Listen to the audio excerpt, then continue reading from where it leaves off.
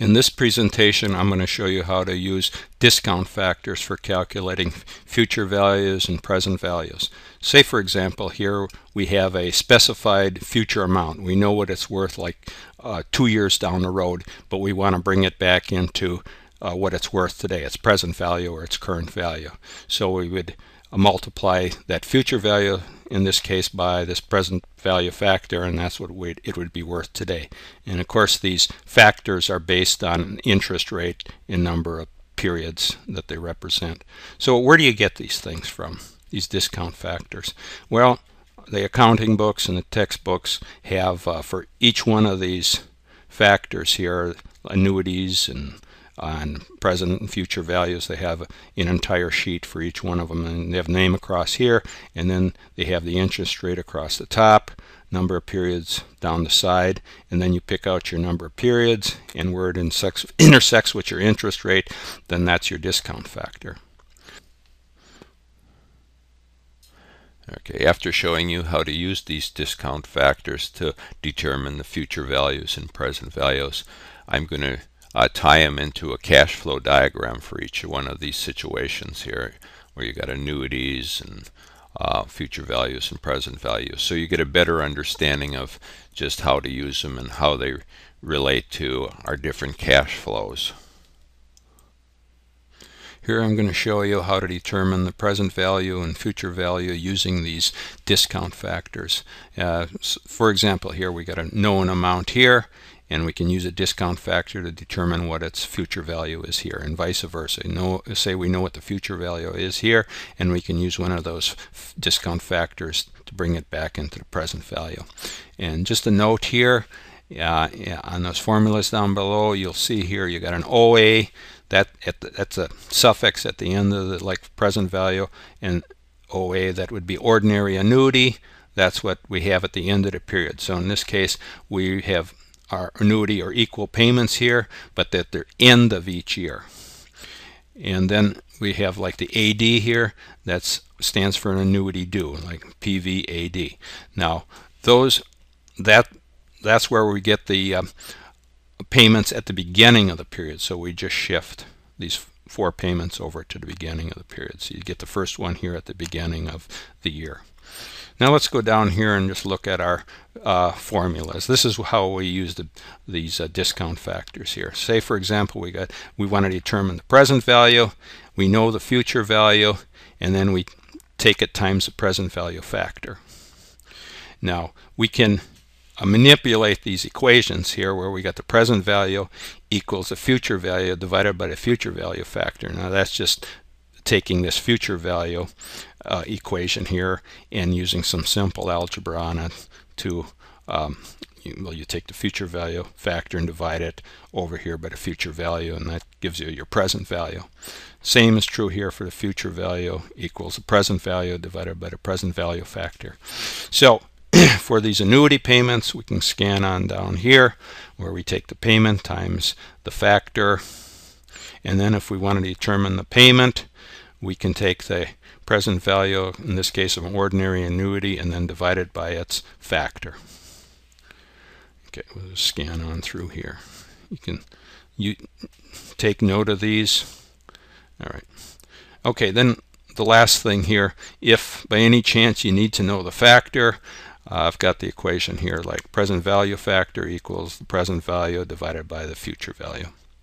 So we can determine all those factors here.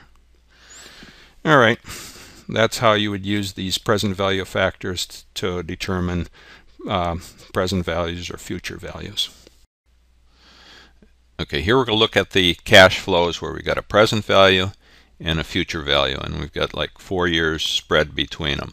And then we determined our discount factors here, either taking them off one of those uh, discount or financial tables or we calculated them here and they were based on a 10% interest rate over four years.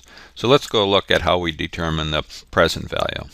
Okay, in that case we'd have to know what this future value is is at the end of the fourth year and then we'd multiply that times the present value factor as shown down here 4,000 times the factor amount and we get $2,732 for the present value. Now let's look at the situation here where we have to determine the future value? Well, that the future value is equal to present value times the future value factor. So you take our present value, which we have to know in this case, times the um, discount rate here, and then we determine what our future value is. So that's just a simple cash flow here, uh, trying to determine present values and future values of just single sum amounts. Okay, here we're look at a cash flow, which they call annuities, which you have equal payments either received or paid, either at the end of each year or at the beginning of each year. So the distinction here is that an ordinary annuity, and they're designated here OA in these formulas here, PV or A, that would be ordinary annuity, they're at the end of the period. So you get equal payments here and they're received at, in this case, the end of each year.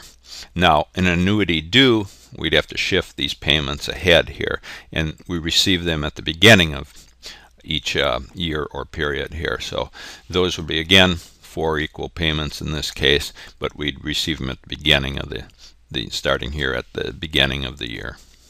Now let's just go through here to see how we'd determine um, the present value of an ordinary annuity. And um, just remember here, uh, you just substitute these present value factors in here uh, for an annuity due. They'd be the same here, just that remember to use, if you're trying to determine the present value of an uh, annuity due, then use that factor. But it would just go through the ordinary annuity here. So to determine the present value of an ordinary annuity, we have to know the payment. We have to know what these equal payments are here. And then we just take it times uh, ordinary annuity, present value ordinary annuity factor, and then we can determine what that present value of those four payments are here. Now, if we didn't know what the payments were, those were in, were in question. But we do did know what our present value of or, our ordinary annuity was, and we, of course we'd have to know the factor as well. So we just divide those, and we can determine our payments. Now let's go over here and look at a future value of an ordinary annuity. We have to determine what that is. Again, we'd have to know our payment here. We'd put that in and just take it times the future value of ordinary annuity factor and then um, we can determine what that future value of the ordinary annuity is. That's what these four payments would be worth here at the end of the four years. And we'd be able to, we'd know what, we could determine our future value of those payments by using this formula here. Now if we didn't know the payment, uh, we'd have to know, know the future value of the ordinary annuity and then its factor, and we could determine its payment. So uh, again here, if you're if you're going to use these formulas and you want to do it for an annuity due, just substitute the annuity due factors in here. So this gives you just a summary here of how you can determine the present value of equal payments that we receive in an annuity form or the future value of those payments.